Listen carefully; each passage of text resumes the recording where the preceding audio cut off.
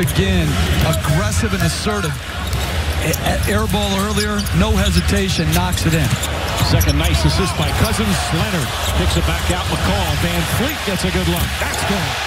Here comes the double team. Ball deflected. Three to shoot. McCaw gets a good look. Hits the three. Popular and successful coach here, and of course the risk of acquiring Kawhi Leonard as McCaw drives inside. Shot won't go. Hit the back of the backboard.